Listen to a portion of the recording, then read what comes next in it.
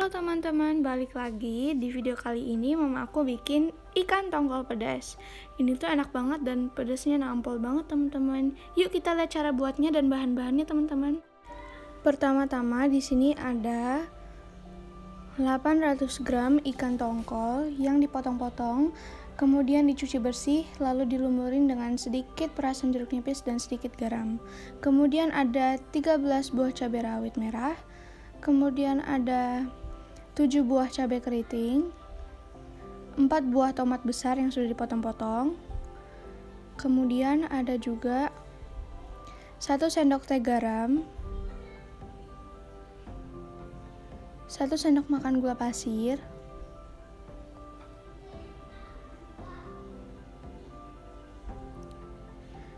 satu sendok teh penyedap rasa ayam, 1 sendok teh asam jawa, minyak goreng secukupnya. Oh ya teman-teman, ada bahan yang lupa yaitu 10 siung bawang merah dan 7 siung bawang putih ya teman-teman. Yuk kita lihat cara bikinnya teman-teman.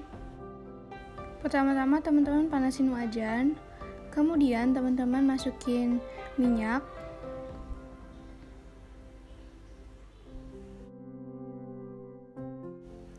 Setelah minyaknya panas, teman-teman masukin ikan tongkolnya yang udah dilumuri dengan perasan jeruk nipis dan juga sedikit garam. Kemudian tinggal kemudian tinggal teman-teman goreng ikan tongkolnya sampai mateng deh.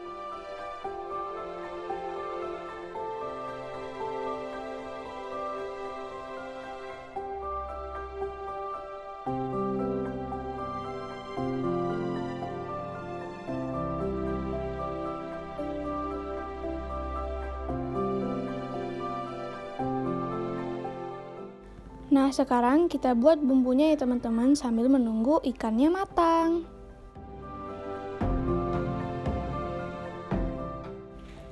Pertama-tama teman-teman masukin cabai rawit dan cabai keritingnya kemudian diulek.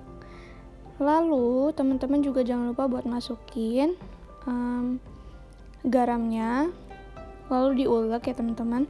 Tapi uleknya jangan jangan terlalu halus. Jadi kayak ulek-ulek kasar gitu loh teman-teman. Oke teman-teman?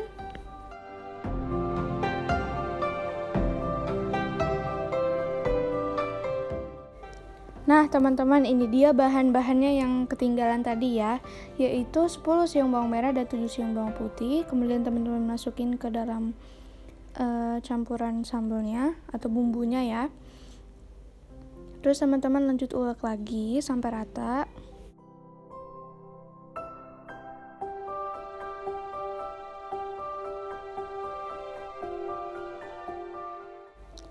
kemudian setelah uh, ulekannya udah lumayan halus tapi agak agak kasar gitu teman-teman juga jangan lupa buat masukin uh, satu sendok makan asam jawanya.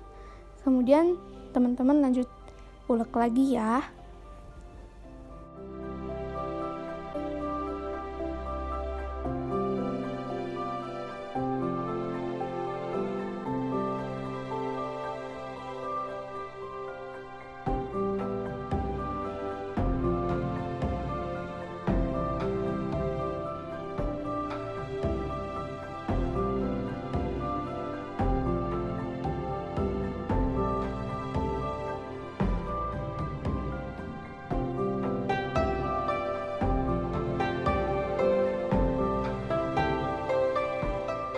Setelah bumbu yang tadi kita buat itu udah halus teman-teman Nah sekarang kita angkat ikannya. Jangan sampai gosong ya teman-teman. Diangkat. Teman-teman juga jangan lupa buat sisain sedikit minyak goreng yang kita habis pakai untuk uh, goreng ikan tadi ya teman-teman. Kemudian teman-teman tumis bumbunya Jangan lupa ya teman-teman untuk bumbunya ditumis ya.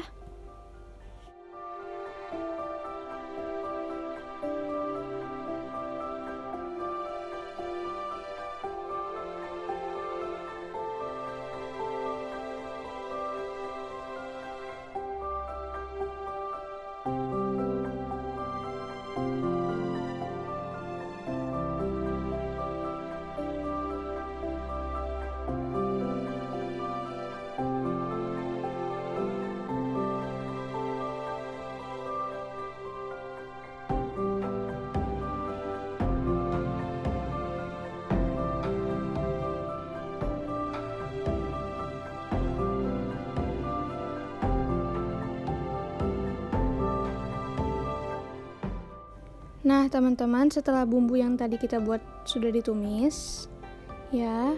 Kemudian teman-teman masukin tomat. Ini tuh bakal bikin uh, masakan ikan tongkol pedasnya makin enak, teman-teman. Jangan lupa masukin ya. Kemudian teman-teman juga jangan lupa buat masukin gula. Gula ya, teman-teman. Dan juga penyedap rasa ayamnya. Kemudian itu tadi e, garam yang sisanya. Kemudian e, diaduk lagi sampai rata. Nah, sekarang kita masukin ikan tongkolnya teman-teman yang yang sudah digoreng ya. Kelihatan yummy banget kan teman-teman?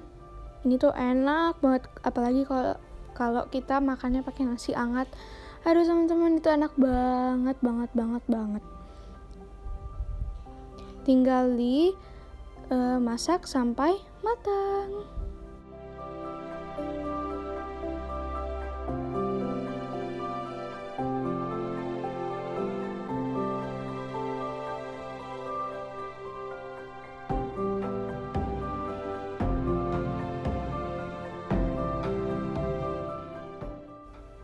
Nah teman-teman ikan tongkol pedasnya udah jadi, yummy banget kan? Makasih ya teman-teman udah nonton, sampai ketemu di video selanjutnya. Dadah, selamat mencoba.